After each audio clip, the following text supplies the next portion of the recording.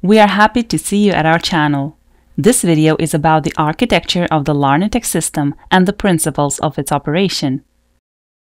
In order to implement the smart home concept, various devices such as lights, blinds, locks, garage gates, radiators, etc. are connected to the modules which regulate load. This way, such a module controls the above devices by supplying electric power to them or cutting it off. Buttons, switches, and sensors that determine the position of windows and doors are connected to input module. Motion, lighting, temperature sensors, and others are added to the system to provide automation. Every module has its own unique address within the system and every device connected to it has a sub-address. For example, a relay module has the address 100, while sub-addresses connected to it are 1, 2, 3, 4, 5, and so on. The full address of the lamp is 100 to 1. The address of the blinds is 100 to 2. Consequently, button addresses are 101 to 1, 101 to 2, and so on. In order for the modules to be able to work together, they are connected with the help of a CAN bus with whose help they can exchange information with each other. CAN bus, short for Controller Area Network, was developed by a German company Bosch. Due to its reliability, it is widely used in such spheres as car building and aviation. The length of the bus can reach 800 meters with up to 50 modules connected to it. All modules are equal, and the bus does not have a central node or controller. In order to lay the bus, a regular signal copper cable is used. 4 or 8 wire cable with a thickness of 0.5 to 0.8 square millimeters is used. It can be both shielded and unshielded, a regular or twisted pair cable. Using 8 wire CAT5E cables is recommended. Due to high resistance and the incapability of transmitting power, bimetallic cables must not be used. The bus has four wires, with two wires used to transmit 24 volt power and two others used to transmit data. The data is transmitted in the form of a differential signal which protects the bus from interference. At the level of a bus controller, automatic processing of collisions has been implemented. Data sending is confirmed and the information packages are resent if necessary. If a collision is discovered, one of the modules stops the transmission, allowing the second one to finish sending the information and sends the information afterwards. The bus transmits data with a speed of 64 kilobytes per second. Normally, the data transmitted makes 2 to 5% of the overall bus capacity. Controllers are protected from faulty connection and can withstand any combination of connecting the wires to the bus. If necessary, small branching from the bus is allowed. Placing the bus and low current wires in one cable duct with high power cables is not recommended.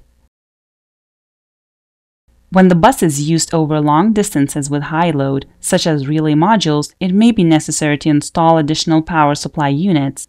No extra devices are required to connect them, the power supply may be connected directly to the bus wires. At the end of the bus, 120 ohm resistors are installed. They are also known as terminators. If the bus is damaged or it is impossible to lay it, two BT CAN modules can be used. They establish the wireless connection and supply the data exchange between two bus fragments. BT CAN module can also be used to connect wireless temperature and leakage sensors. Let's see how the modules interact with each other. Every module in the system has an inbuilt logical controller, which allows for the logic of any complexity to be implemented. After pressing the button, the controller sends a message to the modules which are programmed to receive the information from this button. After having received the information that a button has been pressed, the controller, based on the data programmed into it, turns on a certain lamp or another executor, after which it sends the confirmation back to the sender. In the same way, Having received the information from the motion sensor, the module analyzes the parameters of automation settings, time of day, the data from the other sensors, and other conditions, after which it makes a decision about turning the light on or off. In this way, Our system is built on the principle of distributed logic. The basic unit is not involved in the work of buttons, scenarios, or automation. This makes it possible to significantly increase the level of the reliability of the system. The main gateway is also an element of the bus and can be connected to it anywhere. Depending on the model, the main gateway can be connected to one or two CAN bus. If it is connected to two of them, it ensures the information flow between the two CAN bus. It can have up to 100 modules connected to it. The main gateway also supplies the power to the bus, but it has an inbuilt self-renewing fuse which can take up to 700 mA current. If higher load is required for the bus, it is possible to connect extra power sources directly to the bus. The basic unit is also connected to the local network, which makes it possible for the app on the smartphone or tablet to display the status of devices and control them. In order to connect more CAN bus, DEGW modules are used. Each of them is connected to a local network and ensures that two extra CAN are connected. This way, up to 1000 modules can be connected into one system. We recommend using a separate bus for every level of premises and not connecting devices from different floors with one bus.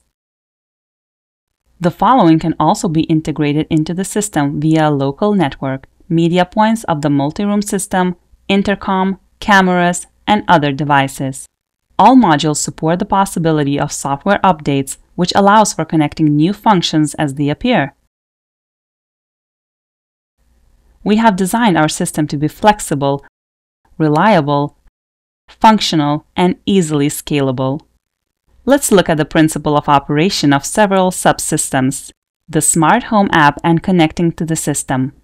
After installing the app, in order to get connected to Smart Home, you will require a QR code which has the information about the server to which you need to connect and the authorization password for the server. When a QR code is generated, it is possible to limit the number of times it is used. For example, it can be turned into a single-use QR code, meaning that only one new device will be connected via this code.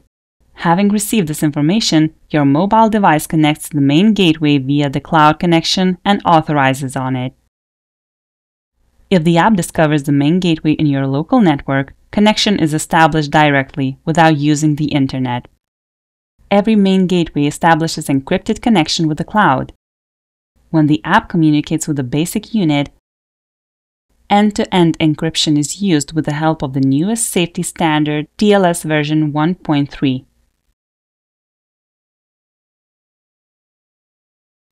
Seeing or changing the information which is transmitted is impossible even on the cloud.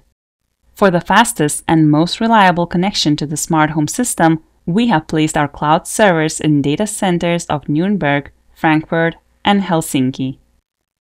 Depending on the quality of the internet connection, connection is established in fractions of a second. In order to work with the cloud, you don't need any extra settings, port forwarding on the router, or a static external IP address. If your smartphone is connected to the local network, connection between cameras takes place directly between the smartphone and the cameras. If the connection is done remotely, Transferring the video is done via an encrypted channel from the camera via the main gateway and the cloud to the smartphone. A media point can play content from the home media library, internet radio, TuneIn, play the sound from the smartphone with the help of AirPlay technology or from Spotify. The intercom is a part of the multi-room system and provides the possibility to communicate with the visitor both locally and remotely. The multi-room system is also built on the principle of distributed logic and has no central element. Every media point is independent and interacts with the whole system. You can add as many media points to the system as you need. The media point can receive and implement tasks coming from scenarios, buttons, or the application. For example, when a water leakage is discovered with a leakage sensor, all media points will receive the command to play a message about it.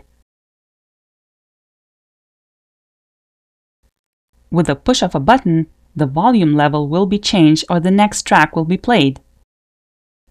A remote control which can interact with household appliances, such as a TV set or a DVD player, operates in the following way. When its button is pressed, it sends a set of infrared signals which can be compared to Morse code, telling the appliances which button on the remote was pressed. Our system can read and remember these commands. Then, when a scenario or a user requests it, the appropriate command can be recreated by the infrared transmitter. The household appliances receiving it will perceive it as a command from its default remote control. The commands are stored in the system, and further interaction with household appliances can be done from the application without using traditional remote controls. Controlling household appliances can also be used in various scenarios. The AC remote control works slightly differently.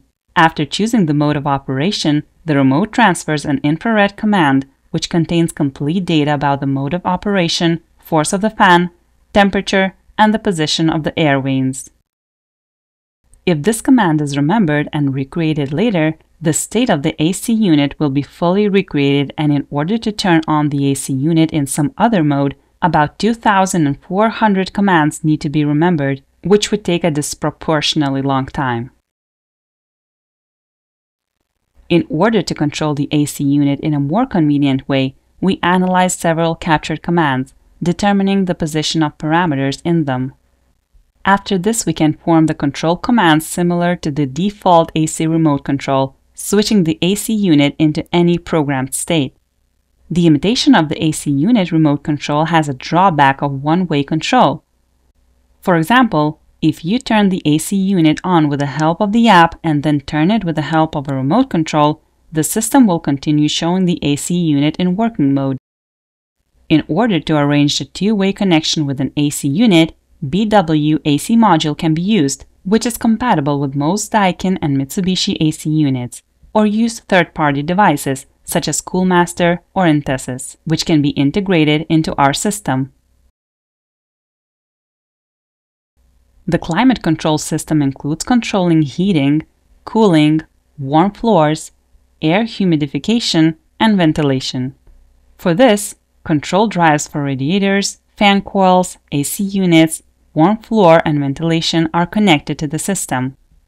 Based on the schedule and meter data, the system maintains the set climatic parameters in every part of the house. In order to integrate other devices into the system, universal interface modules can be used RS485, RS232, UART, 0 to 10 volt.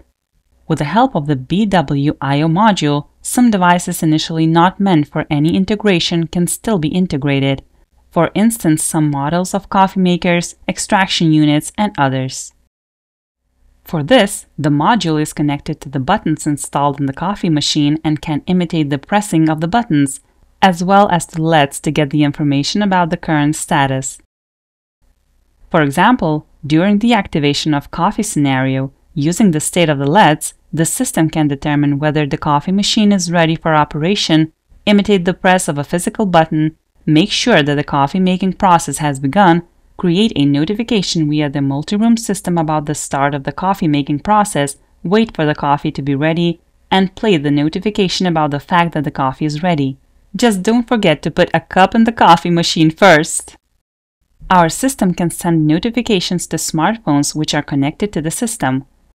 For example, when the ring button is pressed on the intercom, the main gateway sends a message via the cloud to Google servers for Android and Apple servers for iOS smartphones.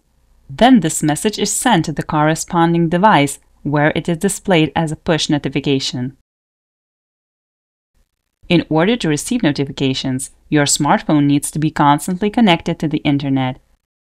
When a voice command is given to Alexa or Google Assistant, it is sent to the corresponding servers, where it is processed and where a command to the smart home system is formed. The command is sent via the cloud to the main gateway where it is implemented.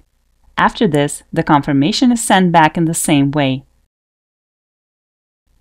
If the voice command is given to Siri, it comes back to the smartphone and the smartphone itself redirects the command to the main gateway the smartphone needs to be in the home Wi-Fi network. These commands cannot be sent remotely.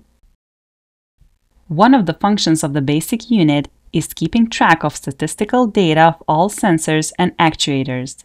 The data is stored for a year and can be viewed on a mobile device at any moment. The basic unit is responsible for the configuration of modules in the system. For example, after a user sets up the automation settings or binding buttons, the corresponding settings of logical units are sent to modules, after which they operate according to the pre-programmed configuration. The basic unit also contains the database of ready-made scenarios, which, once they have been added, are sent to the modules for implementation. For example, the I'm gone scenario can turn off all the lighting and music, put the climate control systems into energy saving mode, via the multi-room system notify the household about an unlocked back door, turn on the security system, and, if it's dark outside, keep the outside lights on for several minutes while the house owners are leaving the property.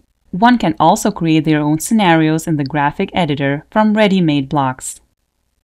One of the basic functions making the setting up of the system significantly easier is plug and play. After connecting a new module, it sends the information about itself and the devices it is responsible for to the basic unit, which automatically adds the new module to the system and informs the application about the newly added modules and devices. Just a few seconds after connecting, the newly added devices appear on the smartphone screen and are ready to be used. After this, they can be renamed or moved to another area directly in the application. For convenience and more advanced setup of the system, you can use a Web Panel LT setup, which is available in every basic unit. The LT Setup panel can also be accessed from the Dealer Administrator panel. The system configuration can be set up or changed remotely without being physically present at the site. Every day, a full reserve copy of all the settings and system configuration is automatically created. It is synchronized with the cloud, allowing for the automatic restoration of the system settings with a few clicks. In order to expand the functionality, various plugins can be installed on the main gateway. For example, the security system plugin or integration with Philips Hue or IKEA lamps. Also, the main gateway features Open API and webhook for the possibility of the system to be integrated with third-party applications and services. Currently, the Larnitech equipment line offers four models of main gateways, Metaforsa 2, Metaforsa 2 Cloud, DEMG, DEMG Plus. Metaforsa 2 and Metaforsa 2 Cloud have inbuilt dimmable and relay channels input channel for binary sensors and temperature sensors, and one CAN bus for connecting extra devices. They are used for building smaller scale budget systems.